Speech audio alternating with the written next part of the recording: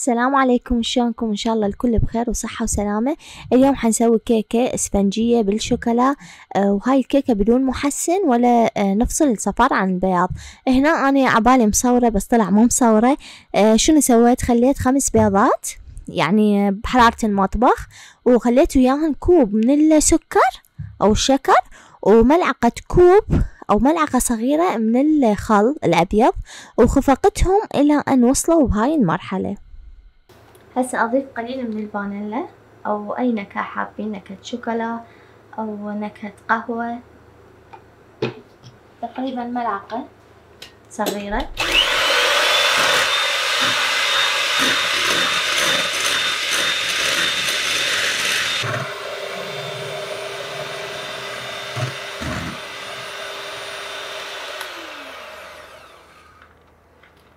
هنا بعد ما كملنا إيش صار قوامه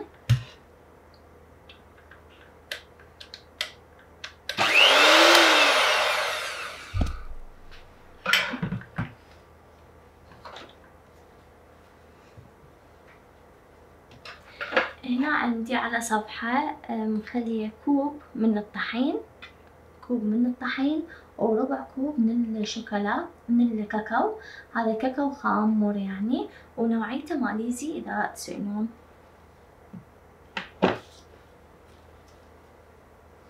أضيف عليهم ملعقة كوب من ال baking powder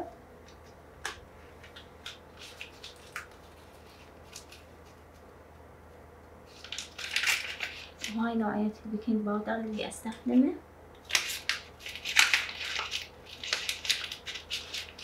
لا آخذ ملعقة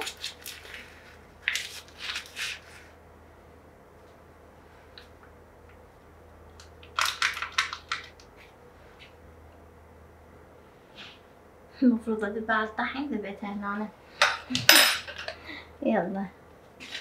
هنا أخلطه زين. ونظل نضيفه شوي شوي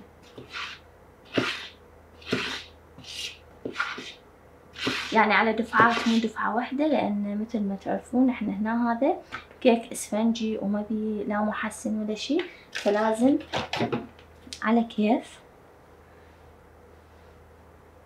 يعني نقلب بيه هيجي من فوق لجوا حتى الهواء اللي دخلناه بالبيض ما يطلع.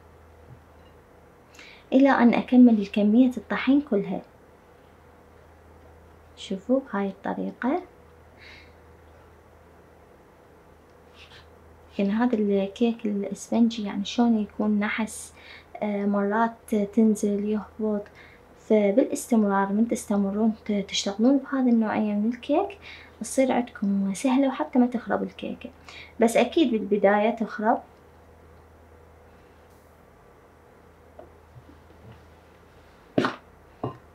لا أفضل بالملعقة حتى لأن هو ثقيل فمن نضيف آه، هيك نصبه آه، يهبط البياض البياض يهبط. شوفوا بهاي الطريقة. هسه راح أكمل الطحين كله حتى ما يصير طويل الفيديو. وأرجع لكم بعد ما أكمل خلطها. وهسه هاي آخر كمية ضفتها.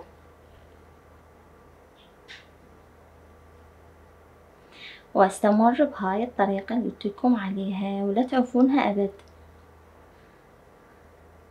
يعني مو تخلون من الطحين وتروحون غير تسوون غير شي وترجعوا لها لين تخرب.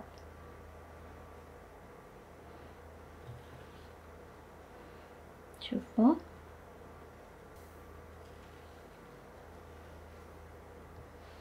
وهسه شنو عندي؟ على صفحة نص كوب ومن الحليب.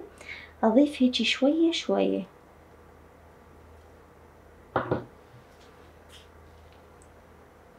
هاي نوعية هاي الكيكة ما ضفت لها زيت. خاف تسألون وطبعا هي كل وصفة إلها مقاديرها الخاصة. وخاصة الكيك يعني إذا واحد ملتزم بالمقادير مستحيل تنجح عند الكيكة تخرب. فالأفضل إنه تلتزمون بالمقادير اللي ننزلها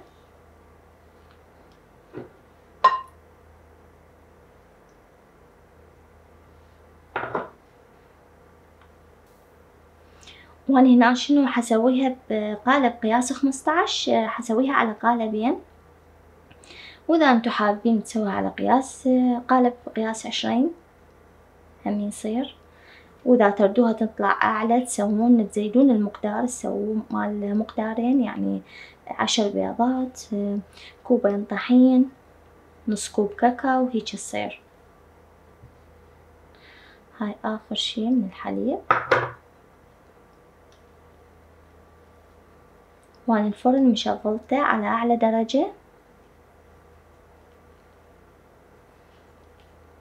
وأول ما أخليه الكيكة بالفرن آه رأسة آه أنزل الحرارة على مية وخمسين. وتأخذ مني تقريبا نص ساعة حسب حرارة الفرن. كل فرن يختلف عن الفرن الثاني. هنا شوف خلصتها. كملنا شوفوا هذا قوامها يصير. يعني لا ثقيلة كلش ولا خفيفة. هسه عندي هاي القالبين قياسه خمسطعش مثل ما قلت لكم.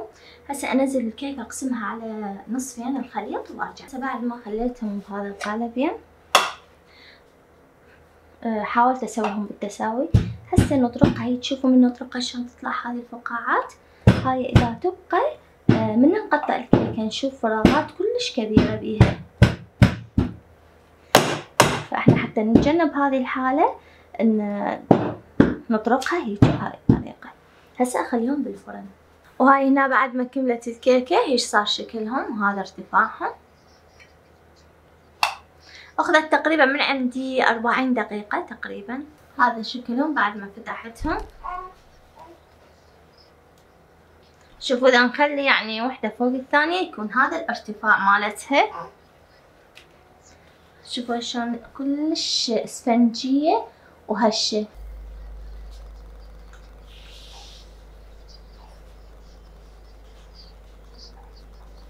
هاي هنا بعد ما قطعت الكيكة صارت عندي آه، خمس قطع قياس خمسطعش شوفوا هذا شكلها وكلش إسفنجية وهشة.